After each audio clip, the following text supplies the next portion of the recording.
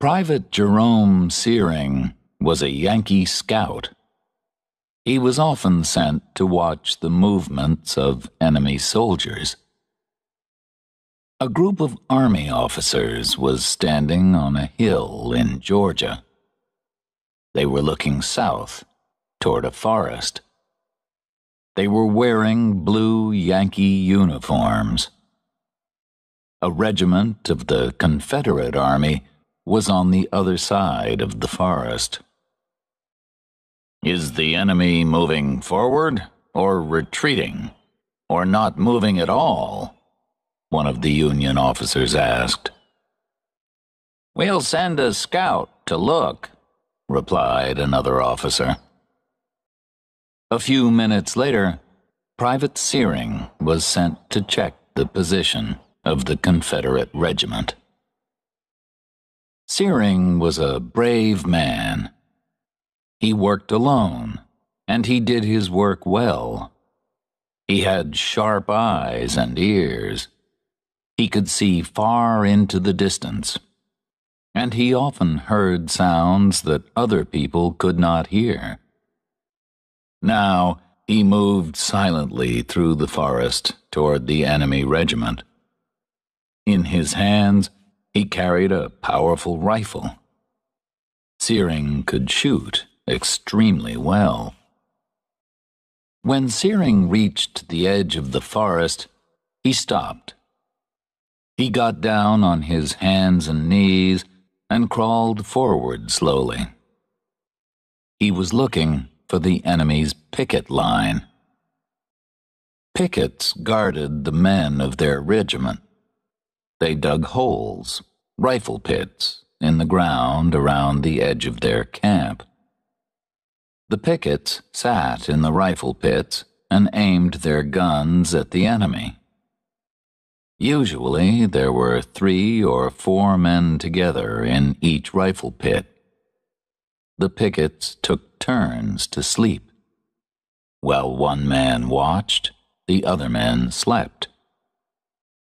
Searing was looking for small mounds of earth on the ground. The mounds would show Searing where the Confederates had dug their rifle pits. The mounds would also show him where the enemy had positioned its picket line. The scout quickly lay flat on the ground. Through a narrow opening in the bushes, he had seen a small mound of yellow earth. It was one of the enemy's rifle pits. After a few moments, Searing slowly and carefully lifted his head. He looked at the mound of earth for several more minutes. Then he stood up and walked forward. The enemy soldiers had left the rifle pit. Searing wanted to be sure that all the Confederate pickets had gone. He kept his head low and ran from one rifle pit to the next. They were all empty. The Confederates had left this picket line. But where were they now?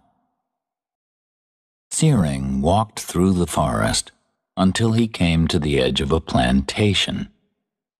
Beyond the plantation, there was an old farmhouse on a small hill.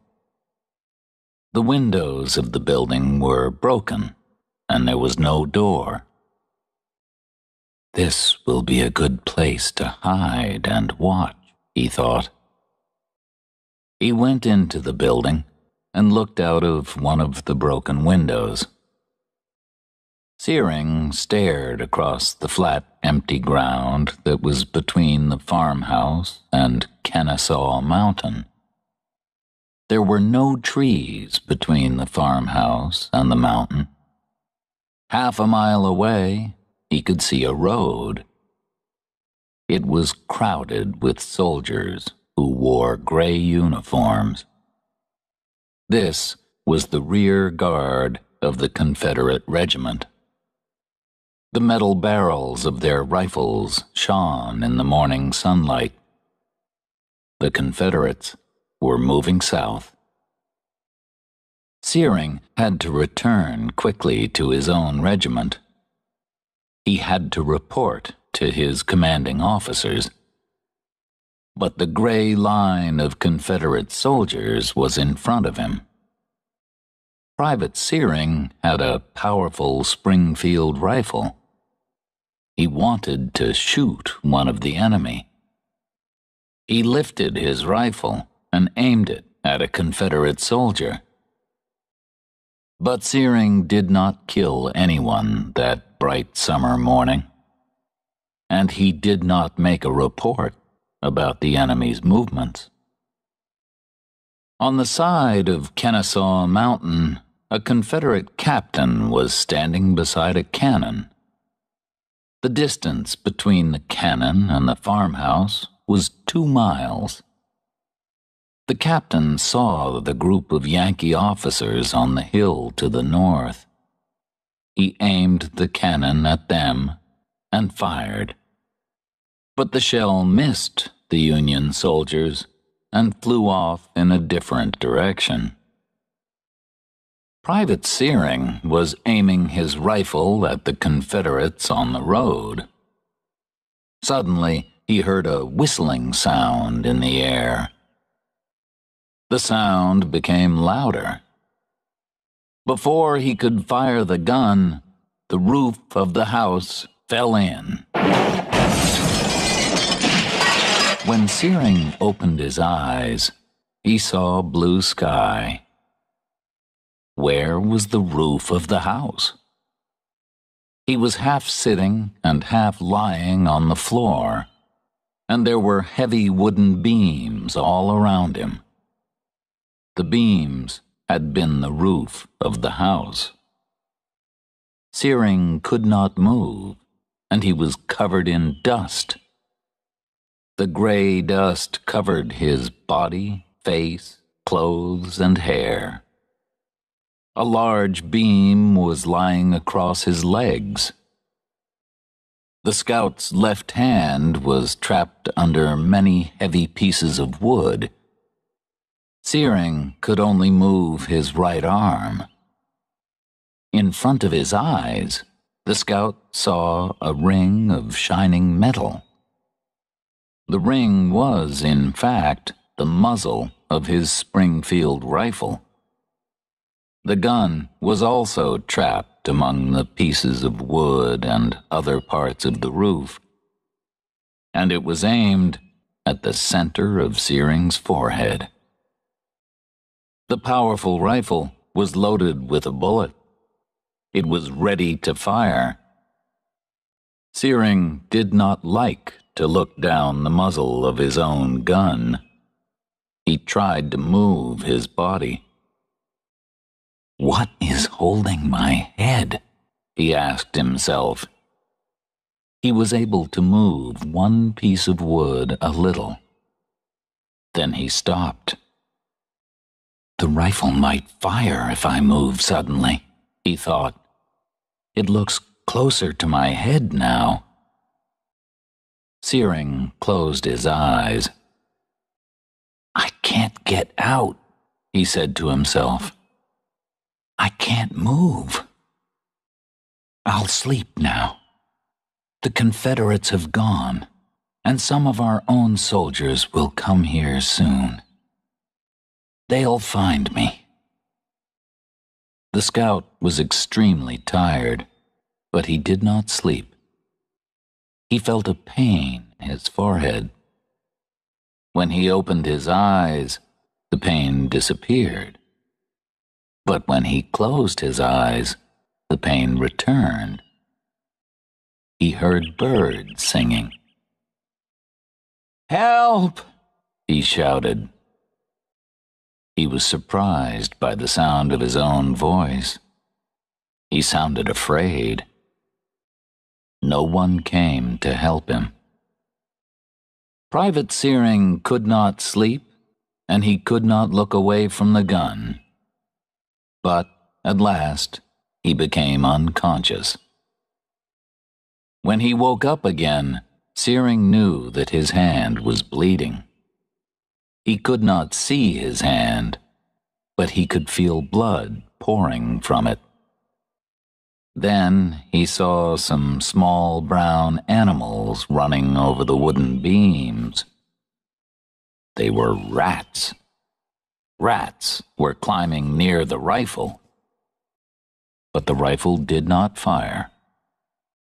At last, the rats ran away.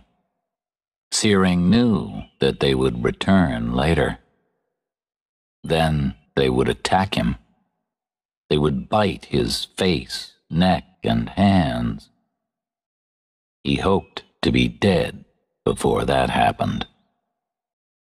Private Jerome Searing was a brave man, but he was tired and in pain. More and more of his blood was pouring from his injured hand. He was very weak, and he was terrified.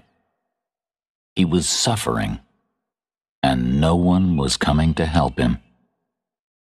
He tried to lift a small piece of wood with his right hand. Can I move the piece of wood so that it touches the rifle? He thought. Maybe I can push the rifle so that it isn't aimed at my head. Searing slowly moved the piece of wood along the barrel of the gun. He could not push the barrel away, but now he could feel the trigger of the rifle. He knew that he wanted to die now. He closed his eyes and pushed the wood against the trigger. Nothing happened. The rifle did not fire. Private Jerome Searing knew that the pain in his head was part of his dream. He dreamed that the bullet went into his head. At last, the fear of the bullet killed him. Lieutenant Adrian Searing looked at his watch. The time was 18 minutes past eight. The lieutenant was in command of the Yankee pickets on the hill. He knew that his brother, Private Jerome Searing, was scouting somewhere near the hill. Adrian was waiting for Jerome to return and report about the enemy's pickets. Suddenly, Adrian Searing heard a noise in the distance. It was like the sound of a building falling down. The sound was coming from the south. At the same moment, an officer came toward him. Lieutenant Searing, said the officer, the colonel orders you to move your men forward. You must look for the enemy. We think that the Confederates have retreated.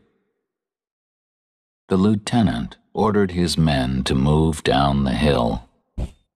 They went through the forest and came to the edge of the plantation. A wooden farmhouse had stood on a small hill beside the plantation. The building was now destroyed. The walls and the roof had fallen.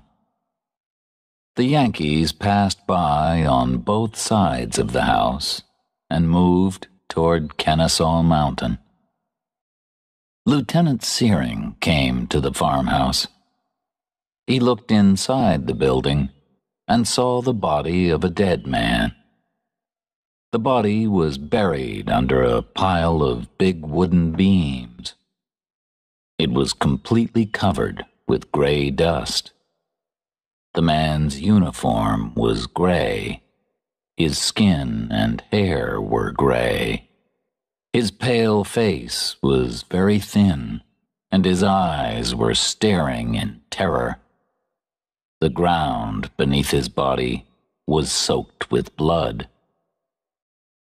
I guess that this Confederate has been dead for a week, the lieutenant said to himself. Maybe he was killed when the building fell. Lieutenant Searing did not recognize the face of the dead man. and he did not see the Springfield rifle. He looked at his watch. The time was 6:40. He followed his soldiers toward Kennesaw Mountain.